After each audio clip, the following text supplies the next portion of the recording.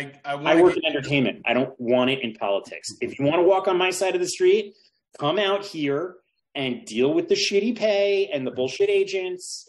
Don't do it there. Like there is a place for it.